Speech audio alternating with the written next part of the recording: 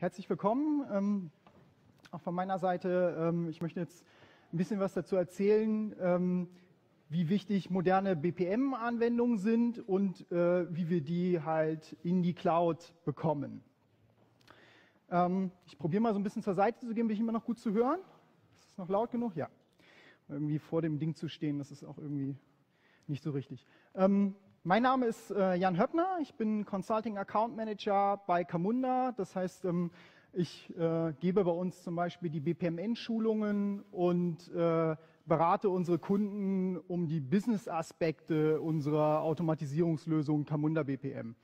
Ähm, zu Camunda äh, noch zwei kurze Worte. Ähm, der eine oder andere kennt uns vielleicht über unser Praxishandbuch BPMN, eins der äh, lesbareren ähm, Bücher im Bereich BPMN auf jeden Fall, weil das kann ja auch ein sehr äh, trockenes Thema sein. Und ich denke, das haben wir ganz gut aufbereitet bekommen. Äh, Gibt es mittlerweile auch in, in Englisch äh, und in Spanisch.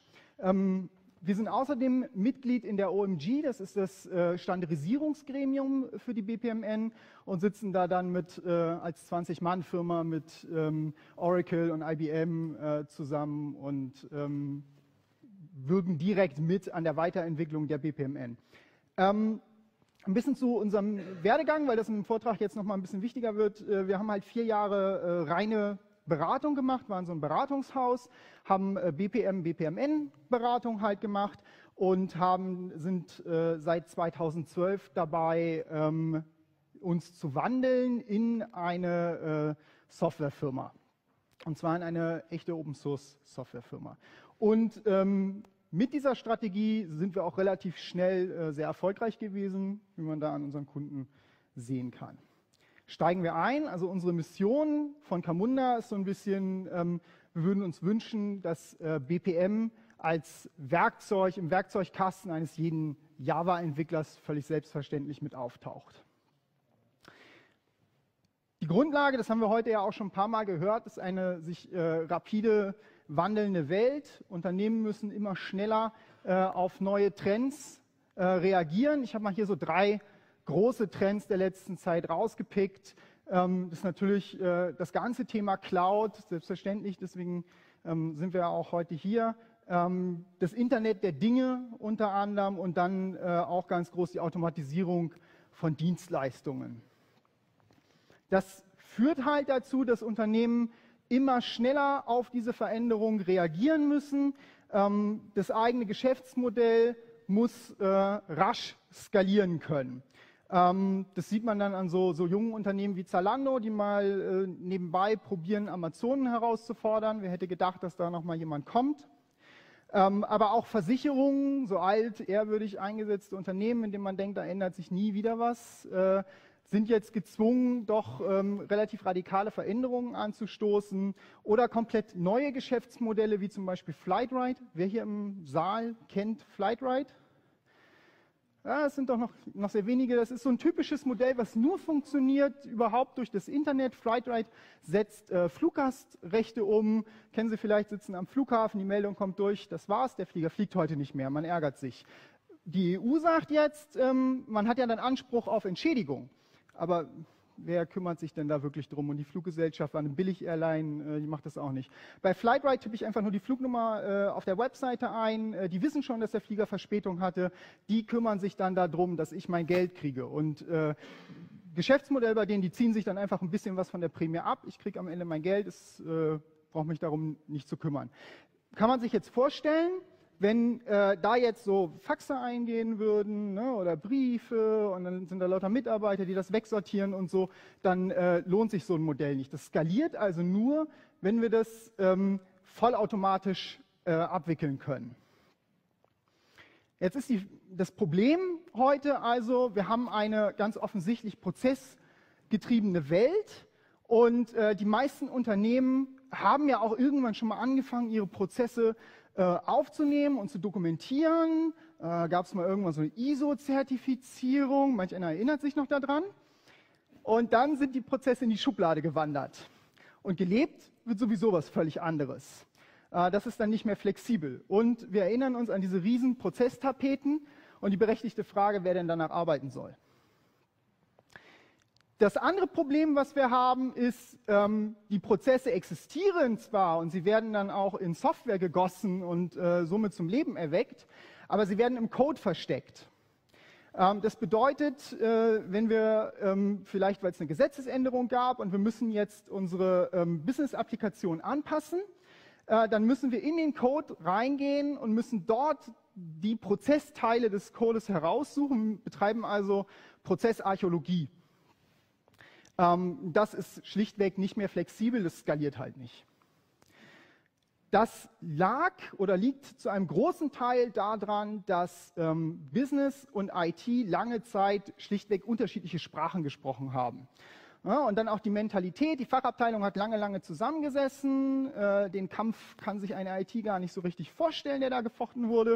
Äh, dann haben die ein großes Fachkonzept gesch äh, geschrieben und schmeißen das dann der IT über den Zaun. Oder auch, wie hier zu sehen, über die Mauer. Mach mal. Ja, ich Kunde, du Knecht. Die IT setzt sich dann zusammen, baut ein Jahr lang eine Applikation, liefert die dann aus. Mittlerweile haben sich 5000 Mal die Anforderungen verändert.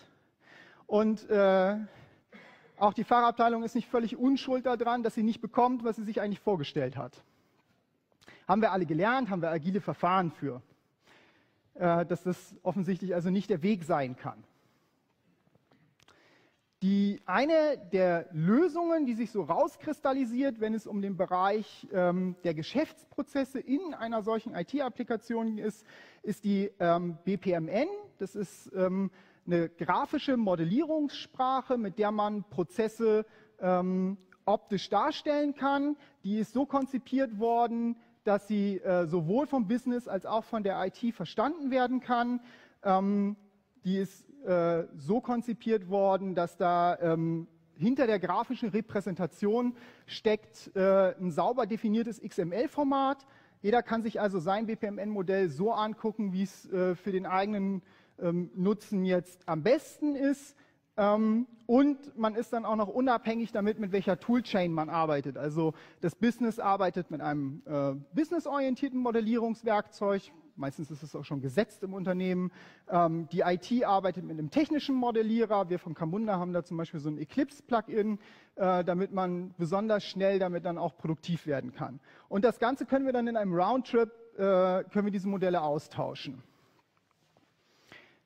Wir haben bei Camunda uns so eine Methodik überlegt, ähm, wie man das denn hinbekommt, dass wir nicht, also jetzt haben wir schon eine Sprache, das ist schon ganz gut, aber wie kriegen wir das denn hin, dass ähm, nicht mehr das Business die Seite ein Modell macht und die IT-Seite äh, sagt dann, ja, ist uns aber nicht präzise genug, wir müssen da noch, wir machen ein anderes Modell. Weil dann laufen die irgendwann auseinander, wir kennen das alle, Versionierungsprobleme äh, etc. Kann man sich, selbst wenn man noch nie was mit Prozessen gemacht hat, wunderbar herleiten, in was für ein Chaos das führt. Wir haben also eine Methodik entwickelt, mit der es möglich ist, dass Business und IT ein gemeinsames Artefakt bilden, ein Modell machen, äh, mit dem beide Seiten dann glücklich sind. Und das äh, haben wir bereits geschafft ähm, in größeren Arbeitsgruppen bei Unternehmen wie Wüstenrot, der VHV, LVM-Versicherung, Zalando, ähm, dass sich Business und IT wirklich an einen Tisch setzen. Wir haben alle behauptet, das geht bei uns nicht. Dass sie zusammensitzen und gemeinsam ein Prozessmodell beschreiben, das dann hinterher äh, technisch ausführbar ist. BPMN steht also für ein höheres Kommunikationsniveau. Allerdings muss man dazu sagen, nur wenn wir echtes BPMN machen. Wir haben in letzter Zeit häufiger mal gesehen, dass jemand so ein BPM Light, Flowchart-like, irgendwie, wir haben da noch sowas wie Ares, äh, kann man das nicht portieren, im Hinterkopf hatte. Also nur, wir reden hier über echtes BPMN. Damit haben wir ein Problem gelöst auf dem Weg skalierbare Business-Applikationen äh, hinzubekommen. Ähm, der zweite Faktor ist natürlich, das eine ist jetzt schön, jetzt haben wir, haben wir also endlich eine Sprache gefunden, mit der wir ähm, in der Lage sind, äh, also skalierbare äh, Business-Applikationen zu entwickeln, aber ähm, wir haben wieder das Problem, wir könnten sie jetzt in die Schublade legen. Ähm, wir wollen ja aber die volle Power davon äh, dann auch ähm, entfalten und deswegen werden wir äh, ist unser Ziel natürlich, dass wir diese Modelle auch äh, direkt zur Ausführung bringen. Das ist der Sinn und Zweck der ganzen Übung. Was wir also wollen, ist ausführbares BPMN. Das erreichen wir dadurch, dass wir ähm, unsere grafischen Modelle, jetzt sieht man übrigens mal, wie so ein BPMM aussieht. Das ist äh, sehr ähnlich anderer Modellierungssprachen, so Ablauf, Flusssteuerungsgeschichten, die man überall schon mal gesehen hat, was schlichtweg daran liegt, dass es ähm, halt eine internationale Working Group ist, ähm, die sich irgendwann mal zusammengesetzt hat und gesagt hat, von den vielen Quasi-Standards, die wir haben, wie machen wir denn einen daraus? Äh, eine Sache noch, BPMN ist übrigens mittlerweile ISO-Standard geworden, ist also auch wirklich äh, nicht mehr wegzudiskutieren wenn es um Geschäftsprozesse geht. Ähm, die Automatisierung erreichen wir jetzt dadurch, dass wir ähm, an unser BPMN-Modell jetzt noch technische Attribute dranhängen. Also hier zum Beispiel da oben äh, links an so einen User-Task, dem müssen wir natürlich jetzt sagen, so, hängt das Formular dahinter? Ähm, dieses Formular kann dann auch äh, in irgendeinem, also könnte in irgendeiner Intranet-Lösung sein oder so, ist man völlig technologieunabhängig. Es geht erstmal nur daran, dass man sagt, wo, wo hängt denn diese Information? Ähm, oder halt, dass man an so einem Gateway, das ist dieser Entscheidungspunkt da mit dem X, dass man äh, dem halt sagt, was ist denn jetzt die technische Variable dahinter, damit ich entscheiden kann, ob ich oben oder unten äh, langlaufe. Und das gleiche unten rechts bei dem Service Task, den man da sieht, das ist so an, an dem kleinen Zahnrad ähm, zu erkennen, äh, wäre jetzt, äh, die Information, was für eine Java-Klasse rufe ich denn auf, ähm, damit die Aufgabe, die hier beschrieben ist, PDF archivieren, äh, denn dann auch durchgeführt wird. Wenn wir das gemacht haben, dann haben wir mehrere Vorteile. Wir haben jetzt also erstens den Prozess transparent gemacht. Wir haben ihn lesbar gemacht, wir haben ihn menschenlesbar gemacht, wir haben ihn maschinenlesbar gemacht. Wenn wir das zur Ausführung bringen, können wir solche Spielchen machen. Wir können ähm, dem Benutzer einer Applikation zum Beispiel anzeigen, wo im Prozess er sich jetzt gerade mit seiner Aufgabe befindet. Wir ähm, können anzeigen, wie viele Prozessinstanzen haben wir denn am Laufen. Wenn jetzt äh, Kunde XY anruft und man will jetzt gucken, oh, wir haben jetzt eine Instanz, also von diesem Bestellprozess, wo steht denn der gerade? So, und damit kann man dann einfach auch mal optisch, grafisch reingucken äh, wo befinden wir uns denn jetzt gerade. Außerdem ist, wenn wir unsere Prozesse automatisiert haben, ähm, können wir noch äh, weitere Informationen abgreifen, die so ein System einfach liefert. Wir können äh, Statistiken darüber erheben, wir können äh, Liegezeiten ähm, ausfiltern, äh, wir können eingreifen in die Prozesse, wenn mal was schiefgegangen ist, einen Prozess neu starten etc. etc. Jetzt ist die Frage, wie kommen wir denn da jetzt hin? So, also wir haben jetzt das Mittel, wir wissen jetzt, was wir wollen. Ähm, jetzt brauchen wir also eine BPM-Lösung. Und ähm, in dem Zusammenhang äh, kommt es wieder darauf, dass ich gesagt habe, wir von Camunda waren halt vier Jahre völlig neutral unterwegs und haben alles Mögliche äh, auf der Welt ausprobiert, um dem Kundenwunsch gerecht zu werden. Und ähm, haben dann vor allen Dingen eine Sache festgestellt, also so eine BPM-Suite, die kostet erstmal viel Geld. Und äh, die bringt aber so erstmal keinen Nutzen. Ne? So ein Kasten, der steht dann da neben meiner anderen IT, muss auch noch betreut werden. Also der Nutzen entsteht erst durch die Prozessanwendung, äh, die jemand noch erstellen muss da drinnen. Was wir vorhin gesehen hatten, äh, war da zum Beispiel so ein Rechnungsfreigabeprozess. Ähm, eine Prozessanwendung, also den Nutzen, erschaffe ich mir erst, wenn ich Softwareentwicklung betreibe. In, in irgendeiner Form muss ich Entwicklung betreiben. Das große Versprechen, was uns dabei immer wieder von proprietären Lösungen über den Weg gelaufen ist, ist, verzichtet auf die Softwareentwickler, die sind langsam und die haben immer Bedenken und, und überhaupt. Ähm, setzt doch einfach eure Fachabteilung in die, äh, in die Lage, ähm, die Prozessapplikation selber zu machen. Ist das Versprechen, das im Raum steht. Ähm, wir von Camunda halten das für einen fundamental falschen Ansatz, besonders dann, wenn wir hier nicht mehr über Mickey-Maus-Prozesse reden, sondern wenn wir über skalierbare Businessmodelle und Kerngeschäftsprozesse reden, die ja möglichst so individuell sein sollten, dass sie nicht mit irgendeiner Boxlösung äh, umgesetzt werden könnten, denn da steckt ja der Mehrwert eines Unternehmens drin. Ähm, wir haben also festgestellt, dass äh, in den meisten BPM-Lösungen tickt im Kern Java mit drinne. Jetzt äh, machen so proprietäre Hersteller, legen da so einen sogenannten Zero-Coding-Layer einfach drumherum ähm, und sagen dann, okay, der Fachanwender, der äh, kann ja jetzt mit diesem Zero-Coding, kann der sich seine Prozessapplikation zusammenklicken. Das Problem ist, dass ähm, auch durch die Wizards äh, kann man Komplexität und Kompliziertheit von gewissen technischen Lösungen einfach nicht verstecken. Also so ein Webservice zu konfigurieren ist halt immer noch eine Aufgabe.